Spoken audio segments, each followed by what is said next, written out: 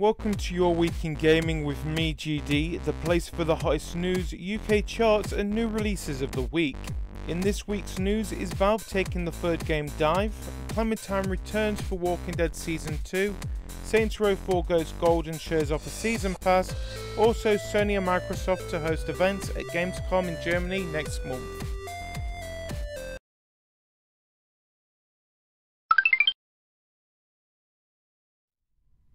First in the news this week, a website of unknown origin has been uncovered that displays a countdown clock for Left 4 Dead 3, with the countdown ending on the 21st of August, the day that Gamescom begins in Germany. The site also contains Source 2 logo as well as Steam's and Valve's, however Valve has refused to comment on rumours and speculations.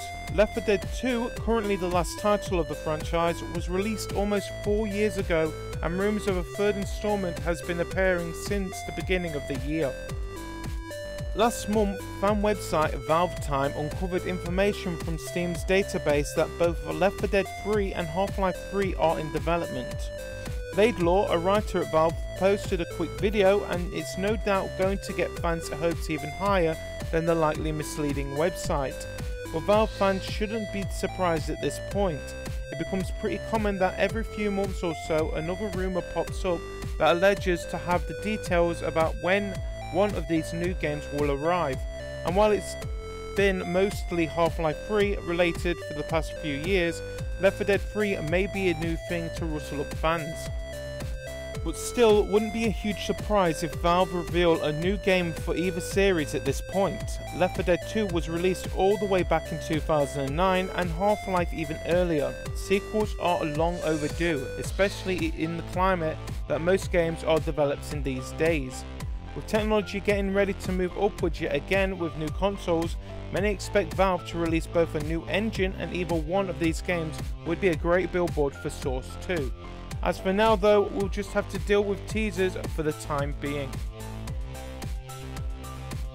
Also in the news this week, Demolition Derby mode is set to make a return to the Grid franchise, Codemaster has announced. In a new blog post, the developer revealed that the returning game mode from the original Grid would be available to download all Grid 2 owners at no extra charge. The decision to reintroduce the mode was apparently 100% driven by feedback from the community, though no exact release window has been confirmed. The upcoming community patch is set to resolve many of the most common complaints from fans of the game was also detailed. Check out what changes are on the way in the official post in the details below. Next in the news, Telltale has confirmed that one of its main characters in the Walking Dead game, Clementine, will be returning for the second season.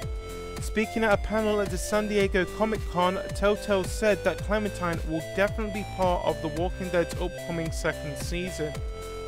Telltale is aiming to release the first chapter of its second season of The Walking Dead later this year. Elsewhere in the panel, Telltale also said the fate of accompanying character Kenny will be explored. A teaser image of what appeared to be Clementine sitting in the rain next to another child was also shown. Telltale also said the season 2 of The Walking Dead would launch on the Vita on the same day as other platforms, unlike the delay with season 1.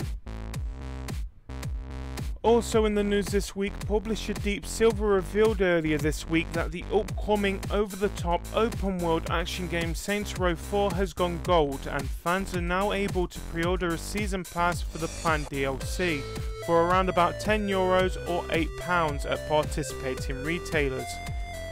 The season pass for the much awaited Saints Row 4 will include two brand new mission packs and a season pass exclusive Rectifier anal probe weapon which will help you, the President of the United States, get the inside information of your enemies as you save Earth from a dangerous alien infestation. Included in the Season Pass is the director's cut of the previously announced Enter the Dominatrix DLC, a tongue-in-cheek vision of what this content was originally going to be like, along with a second mission pack coming in late 2013. Season passes will be available for purchase on all platforms and include upcoming add-on content worth more than 15 euros or 12 pounds. Saints Row 4 launches on current gen consoles and PC on August the 20th in North America and August the 23rd in the rest of the world. Finally, in the news this week, Microsoft will host a showcase event at Gamescom 2013 on August the 20th, where specifics of the company's self publishing policies for Xbox One will be disclosed. Microsoft Corporate Vice Presidents Phil Spencer and Phil Harrison will co host the event, which will take place at Dock 1 in Germany. Earlier this week, Mark Whitten, Corporate Vice President of Xbox, said that the company would have more details about the Xbox One self publishing capabilities to share at Gamescom. Microsoft chose not to participate at Gamescom 2012 or even held a press conference at the event since 2005 but confirmed earlier this year that it would attend Gamescom 2013, where the recently delayed Kinect Sports Rivals will be playable.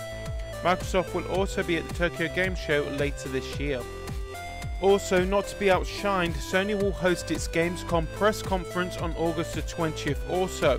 The platform holder has confirmed the event will take place at 6pm UK time. Sony conferences are typical at Gamescom, with the firm having used the event to announce the first Slim PS3, hardware price cuts, and major software titles. With Sony expecting Microsoft to tackle Europe more aggressively, it was indicated by a Sony insider that PlayStation is prepared to do whatever it takes to ensure success in Europe. Its first step being to ensure there is no PS4 delay across Europe. While Xbox One has given a November launch window, Sony is yet to be more specific than its projected holiday 2013 launch for PS4. Industry analysis have deemed it in both firms' best interest to launch first in order to grab an early spot over the competitors, so hope and expect a release date from both at the event, especially with the year ending getting ever closer.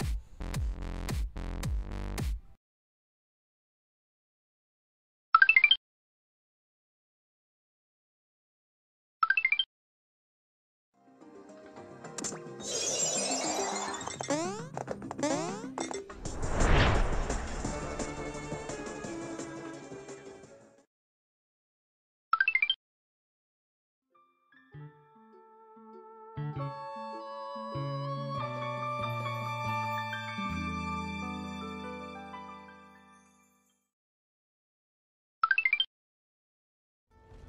don't have to do this. You know that, right? After all we've been through. Everything that I've done.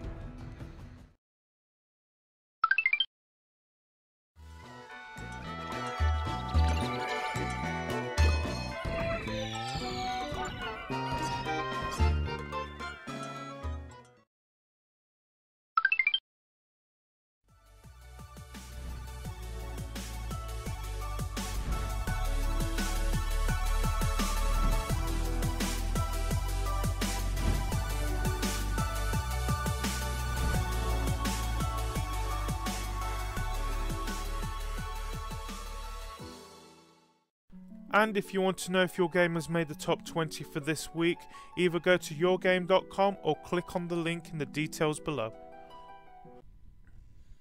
Unfortunately, this week there is not any new releases.